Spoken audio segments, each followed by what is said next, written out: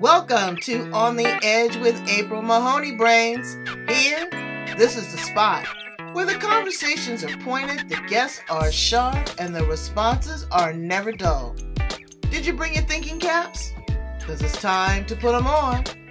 Because the conversation starts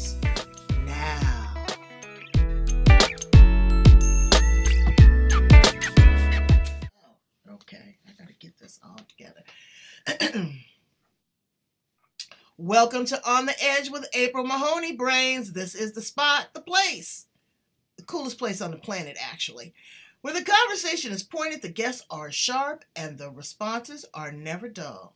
And today we have the beautiful Larisa Troche.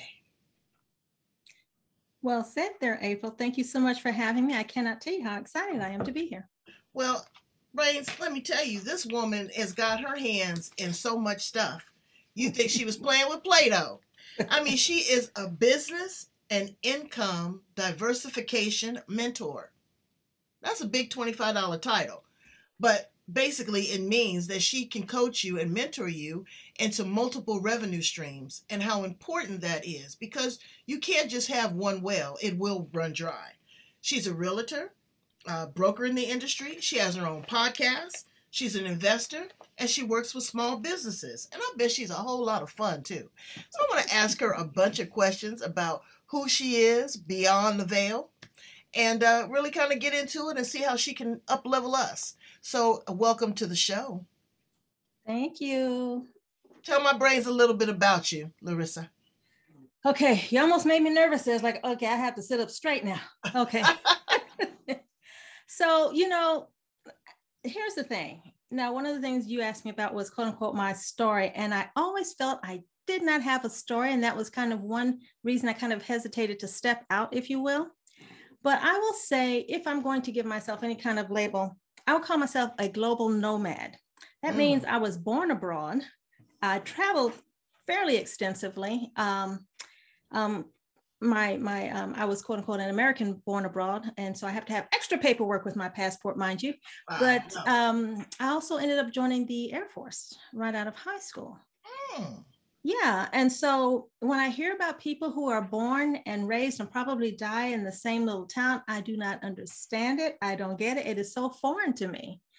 Um, and I'd have to say those experiences really kind of helped shape me uh, who I am today. Um, even at this age, we will say I approach the world with wide-eyed wonder.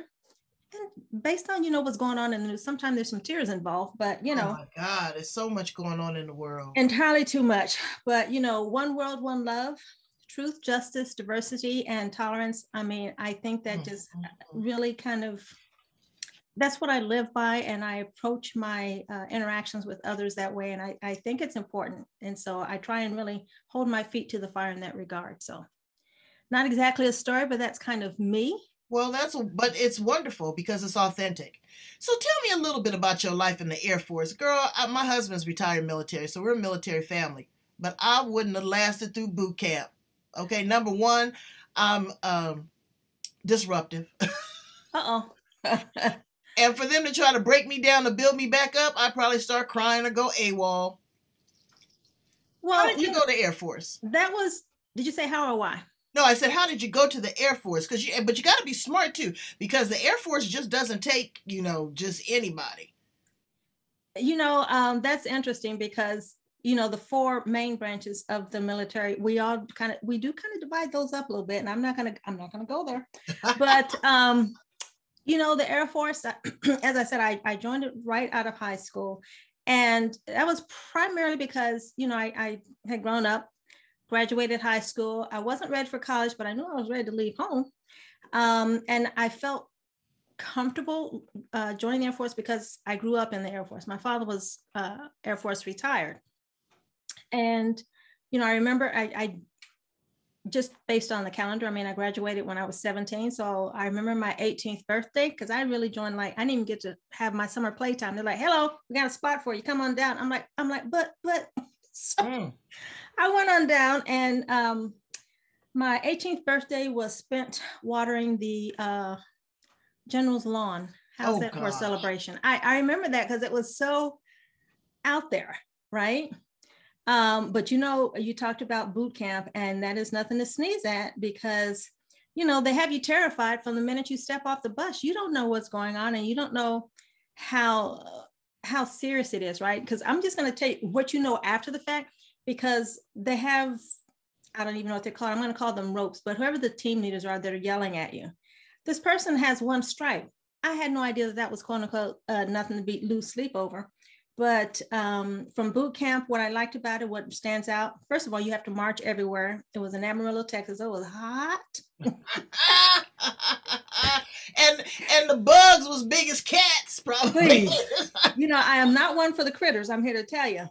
But you know, they fed us well. You could eat a lot because you were working hard. Mm. Um, and then from but uh, what do you call that The obstacle course.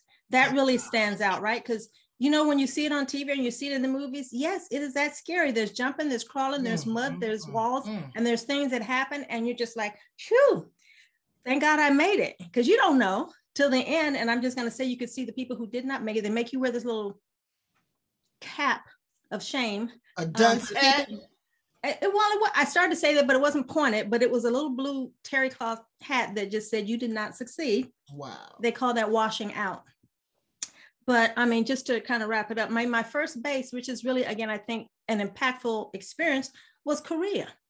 Mm. I mean, after tech school, you know, you have to go get trained in whatever your specialty is. But my first base, my first assignment was Korea. I, am what Korea? Mm. So yeah, I was over there busting out the map, like, where am I going? Mm, mm, mm. so you know, and that was an adventure because you know, first time far away from home. I'm 18, and you know, I, I totally getting ready to tell tales out of school. Well, let me let me ask you. Let me put a pause right somebody, there. Go ahead. Somebody, somebody, uh, somebody said something to me because my husband's in the military, my son's in the military, and they okay. say that it's brainwashing. Oh. Uh, they didn't like, uh, you know, uh, they're going to be in this brainwash mentality. But let me tell you something, brains. It is not a brainwash. It is a discipline. Exactly. My husband and my son are immaculate they know how to uh, use tools. They know how to fix things. They're smart. They have the best education. We have continuous medical benefits. They bury you if you die. You get to see the world. You get a VA loan for education or property. You know, so uh, dip me in the water if it's about being brainwashed. Yes, it is a discipline, and yes, it's a sacrifice too. Because if there weren't great people like you and my husband and others that committed to this, we would not be the land of the free and the home of the brave. Okay? We would be over there ducking bullets like they are in the Ukraine right now. There'd be nobody to stand up for us or stand with us.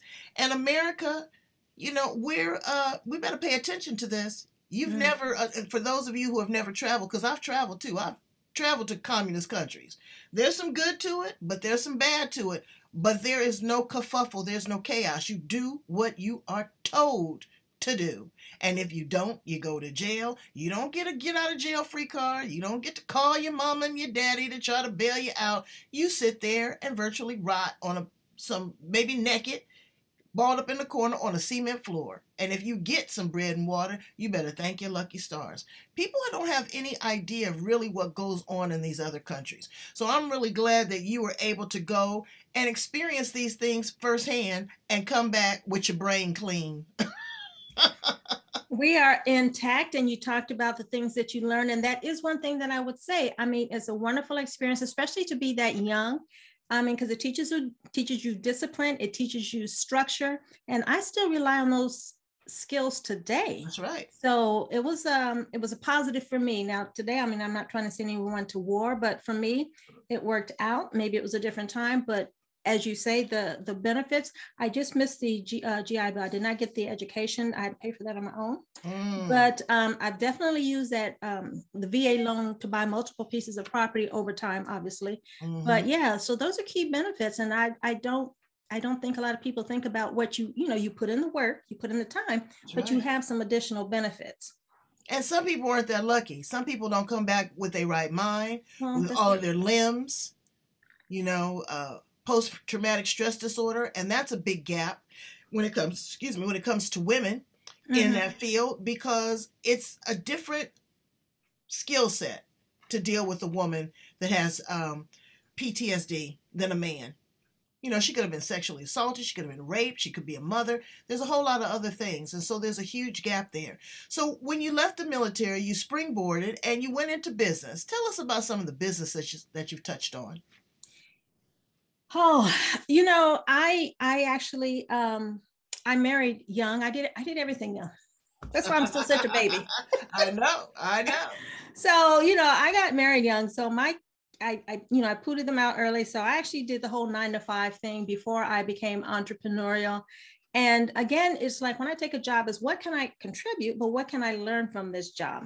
And so one that stands out before I got into real estate was a uh, company that did, uh, actually that they did um, parking management, which sounds, woo, that's exciting. But, you know, it taught me about, um, you know, the bid process and the opportunities that are available for people of color. It's getting the certification and that type of thing. So it's, again, everything I think kind of works together when you apply yourself to take the lessons that will be uh, multidimensional and, and have different applications. So, but I was always like, I first of all, I did the easy stuff, right? I'm so good at paperwork, and I just started off that that way. But um, I, I, you know, you kind of, kind of chomping at the bit a little bit because you know when you listen to people trying to give you orders, if you will, or instructions, you're mm. like, mm, mm. so chomping at the bit kind of helped me take that leap of faith. I, I went into property management be, with purpose. That's the one job I did on purpose mm. because I wanted to learn the back office side of it not right. because I wanted to sit on a property all day, because no, that's not, you know, my cup of tea. Um, but learning the back side of it, the back office side of it is like, you know, the the contracts, the the uh, management agreements, and that side of running the business side of it. And so I actually did not end up sitting on the desk very long. After six months, I was promoted twice, but um, it kind of led me into one, you know, creating my own um, uh, boutique property management firm, if you will. And so picking up a mm. client who does vacation rentals, again, things you don't ever hear about until you stick your toe in the water and you're like, hmm, you know, right. this makes a whole lot of sense. And so that was actually where I got, actually, that was the second one. The first one was a consulting, right? Because I always say when you're starting a business, you start with what you know. Right. And I knew contract management. I certainly knew the certifications, but having, you know, put myself through school for my uh, bachelor's in human relations and the MBA, the business side of it. Learning strategic planning and operations, you know, all businesses need that. That's right. And well, Larisa, let me ask you a quick question though about uh, real estate and property management. Because mm-hmm. this rental world is so different now. Mm-hmm. You've got these short-term rentals. Right. You've got these Airbnbs. Right. Um, but how do you get a joker out? I've got some friends that can't get people out. Now, during COVID, there was a moratorium.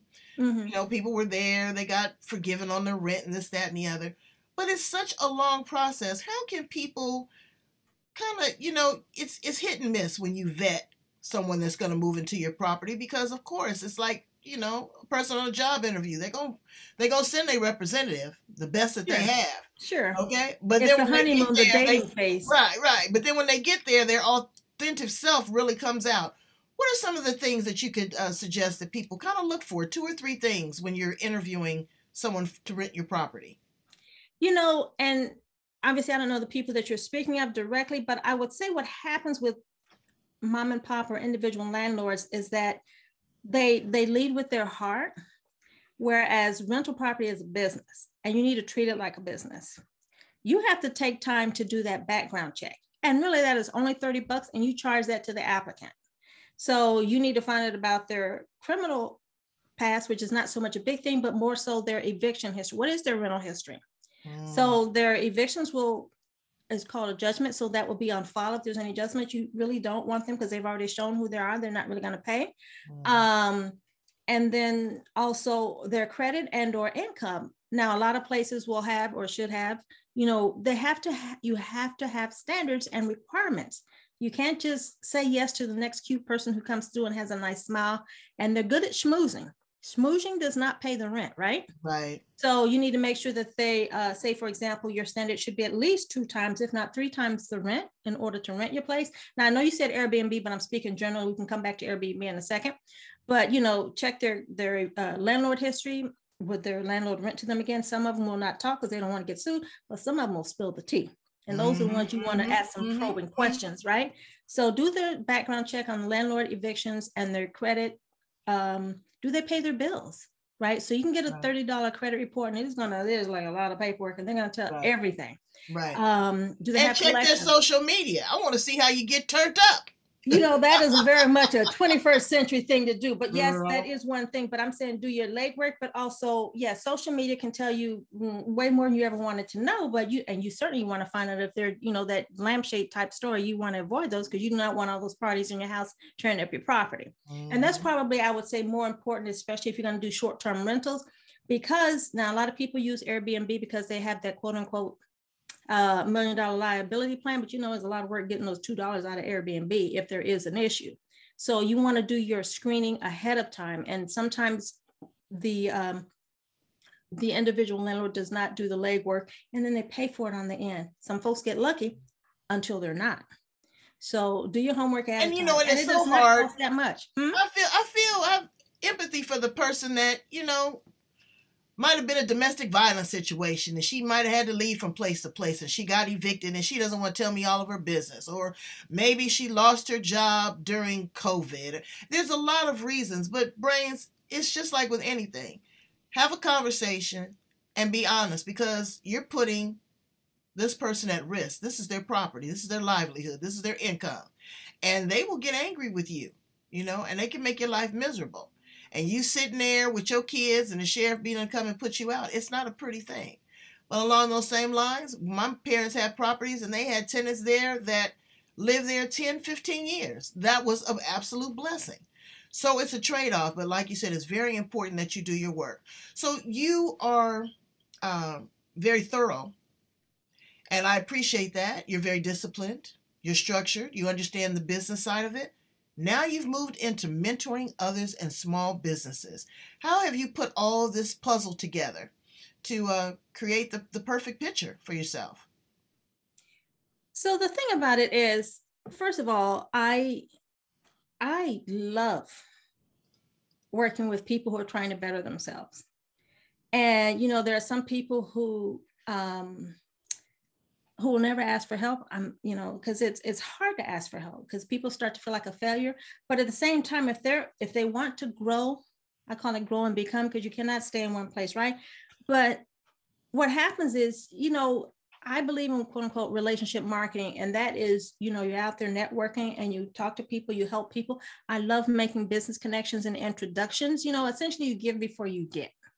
Um, and and that's how i've actually gotten most of my clients my bigger clients is that you know they remembered when i helped them way back when. And so um, and then they come back to me more than once. And so that's the best kind of relationship that i like to create when i'm working with clients. But at the end of the day you know i i, I even though i don't like in one of my repeat clients you know we i helped him with his business and i and i sold him investment property you know so win-win. But it's because I don't know anything about, say, uh, janitorial work specifically, but I do know operations. I knew, do know best practices. And being able to teach those concepts or to make them understandable so that they're actionable. Um, and so, you know, you just break it down and you meet people where they are, because in particular, that particular person, he is not, um, you know, he immigrated here and he has done everything he can. He's been super successful because he worked super hard. You know, got to do that part. Yeah. But working with him, you got to show up and put in the work. Yeah, People working with abracadabra. Again, it, go back to real estate. You know, it's you got to get the property, you got to get the loan, you got to sign over your firstborn and give your blood type.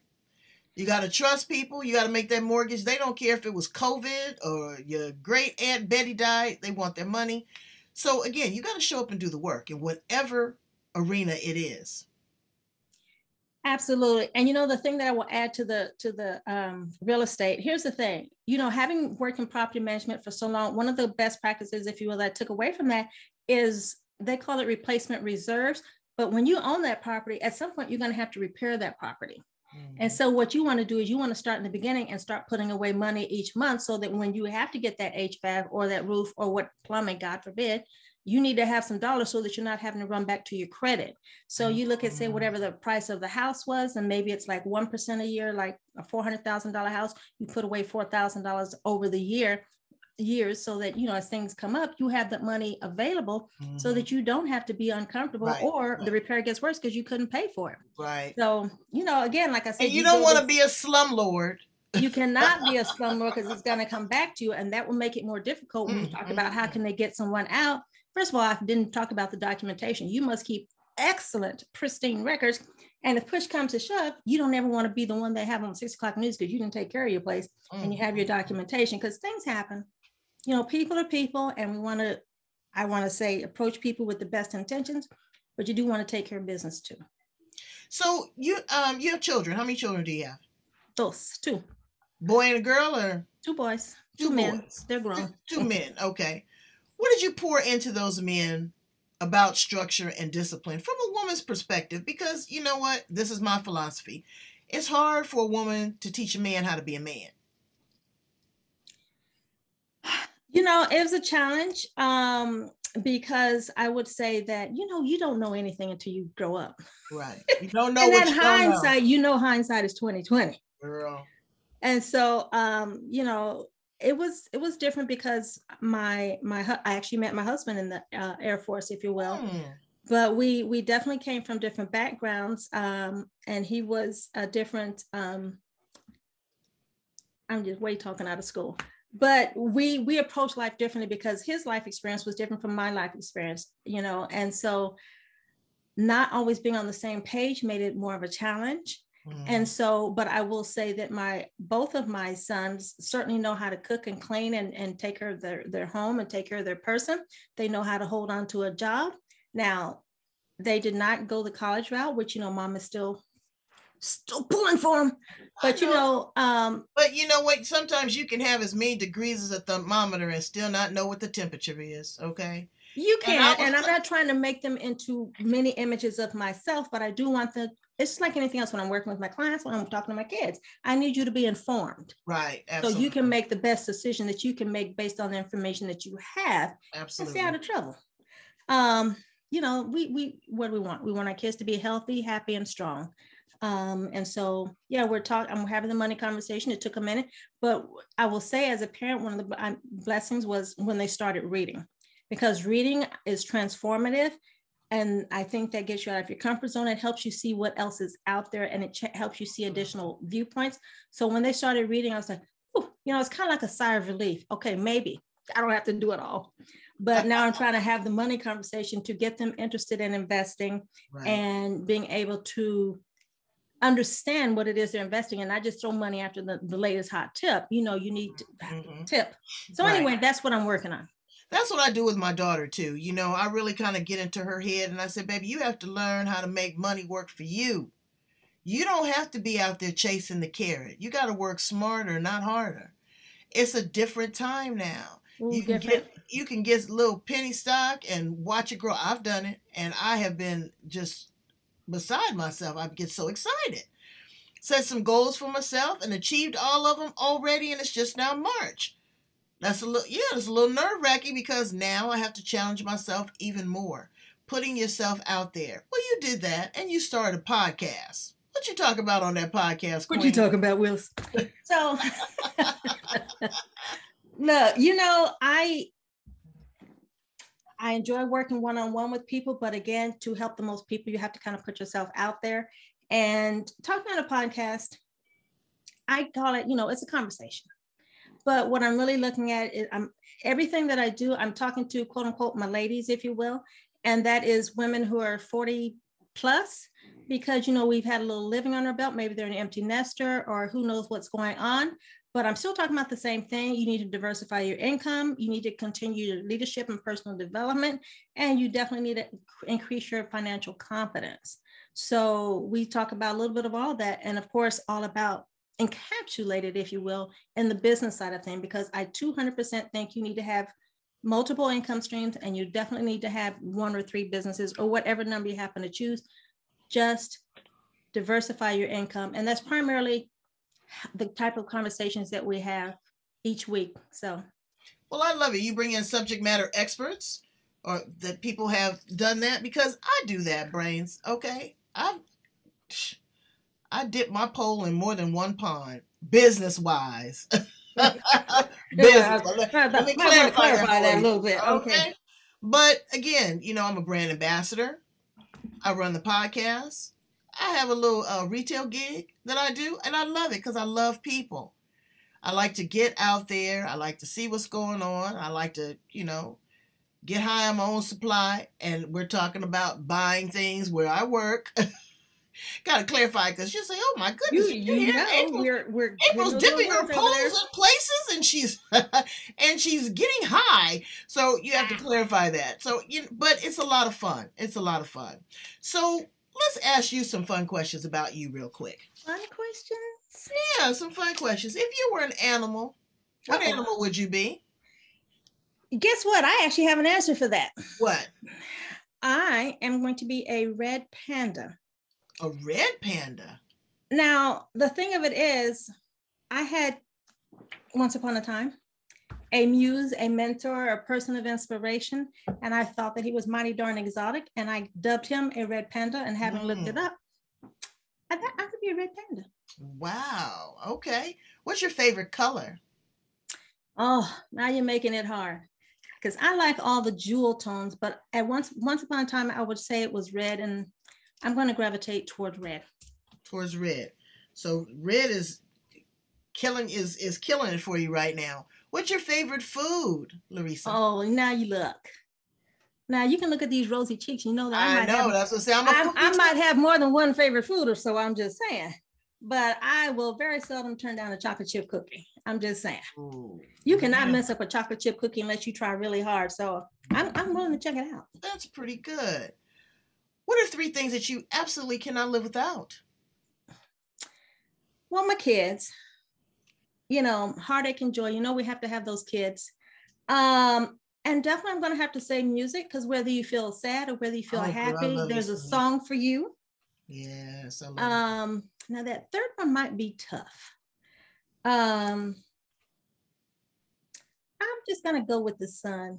I, I kind of blossom in the sun. I love my sun and feeling the rays. I, I feel better no matter what's going on if the sun is shining. What brings you the greatest joy? I don't want to hear about the kids. Personally, what brings you the greatest joy? I would have to say, um, you know, you, there's been some life journeys, and what's become important to me through these journeys is is relationships, right? So when I see someone, I'm going to use the word grow and become. That's just my phrase. But when you can see that light bulb go off, Mhm. and they have turned the corner and they have learned something new, and they're so proud of, oh my gosh, I get it. Um, that's probably a joyful moment, especially if I've been the the impetus behind that. Right, then I'm just right, I'm on cloud nine. Y'all can't Right. me. It's so Right, you know, it, it's that light bulb aha moment. yeah, yeah. That inspires me to keep going. What brings you to tears? Oh, everything. I have become such a baby, especially these last two years. I cannot watch TV without the Kleenex by my side. Mhm. But I um I hate when people are hurtful to each other because that is so not necessary. right, I, you know, if you remember at the beginning, I said one world, one love, truth, justice, diversity, and tolerance. I so believe that. I don't understand why folks out there being a knucklehead. You know, we're on this big planet. It keeps trending. Why can't we all play together and act nice? So um pretty much a crybaby these days yeah. because I don't understand the pain and why people are so hateful to each other. wow. It makes me sound a little wimpy, but that is the fact. Well, it's. I mean, it's. You know, it brings me to tears too to see people. Uh, the the guy was standing out, and I'm I'm a, a sucker for the homeless. I am. Or should I say not the homeless, the disadvantaged and overlooked? Because they overlooked him. The man had his dog in the cart with him, hmm and um, he said, "Uh, uh, ma'am, can, can you can you help me out? Can you help me out?" And I looked at him, and I looked at his dog, and his dog looked like he was eating better than he was. You know, they do care, take care of those animals. They, I mean, that was his companion, and I've, you know, had many dogs, so I know what that means. And I went down in my purse, I gave him a nice Chris 20, and I tell you, he goes, Oh, now me and my dog can eat. And I was He probably like, feed the dog before himself. You're right. Right, right. Probably, you know, that's selfless love. And, you know, people do it for animals, but they won't do it for their brothers or their sisters. And it'll come back to you twofold. Don't walk past people like you don't see them, like you don't know. You don't know what their story was. they might have been high on the hog and something happened to them. And you know, they just I- fall on fall on bad luck. They might have got evicted. as the saying goes, life happens. And I have met some people on the journey because when I first made the transition, I was changing industries to uh, property management. It was affordable housing um, in San Francisco. And I saw some things that you cannot unsee. Mm. And so two things came out of that was, you know, because again, most people, you know, they just want to be seen and they want to be heard. I mean, I I was an, interviewing an applicant, if you will, and I noticed that, you know, she was formerly homeless or homeless at the time. And she had, I know it's unhoused now, pardon me, but um, you know, she had lovely hands. And she told me in her past life she was a hand model, which of course I'd never heard of such a Oh. thing. But um, you know, she had lovely hands, even throughout the things that had happened, the challenges that she was overcoming. Um, but you know, when I and and that's why even when I'm giving to people who are, are you know asking for assistance you know i'm really focused on the women because i think they have it harder and i feel like the you know the things that can happen out there so you know one of the things i was inspired to do because i saw i the things that you cannot unsee i already told you that but Mm. you know you put together a little ziploc bag with some feminine products and some money and some whatever so that you know Mm. because things are going on out there and It i just turn- it for turns the women that are out life there around. It it turns Yeah. my life around to be a blessing, because you know my mother said, "Aren't you glad that you can bless instead of needing to be blessed?" You know, so don't take it for granted. Don't, and it's all um, it's just a humanitarian effort.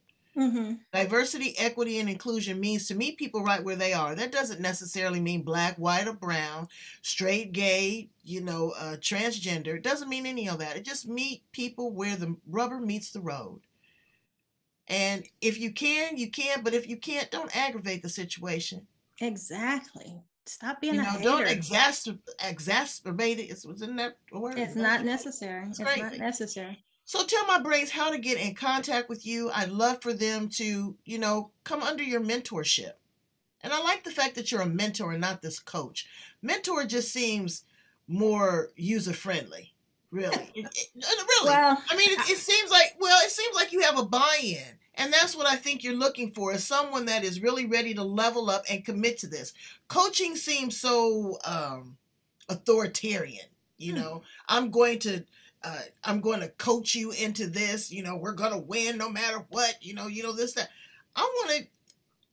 I want to the ebbs and flows. I want to bob and weave. I want somebody that is really going to not try to change me, but let me evolve, pour into me, bring out the best qualities into me instead of, you know, I see these coaches and they're really trying to create a mini me, and that's not what I want. So I like the fact that you consider yourself as a mentor. So how do we get in contact with you and get, uh, you know, get tuned up on that podcast? thank you, April, for asking because um, I'm happy to share with you, ladies, if you are looking to diversify your income and increase your financial literacy, please check out pinkpassportsociety.org. That's my online membership community to help women as they uh, on their journey. But in particular, I certainly hope that you will check out Divas, Diamonds, and Dollars podcast. That's all about the business of life well lived, where we're again talking about your income and your business. And then lastly, if you just want to find me online, my uh, Instagram handle is larisa.troche um, on Instagram and probably Facebook. So, and LinkedIn. I'm just throw it all out. so, you know, Larisa Troche, you can find me. There's not too many with the same last name. I have discovered more Larisas though. So make sure you put that Troche on there. Really? Well, I like that, Larisa Troche. It seems a little. Mm. That's right. Well, do it, Queen. Thank you so much for being here on the Edge Brains. I need you to go in and handle your business. I need you to like, love, share, and subscribe. One more time. Like, love, Love, share, share, and subscribe. Subscribe. Because your brains. And we're trying to take you to that next point, to that zenith point, so you are limitless and your money is just flowing like water. Thank you so much for being with me today. I appreciate you and value you. Thank you, April. It has been a pleasure. All right. Peace out, brains.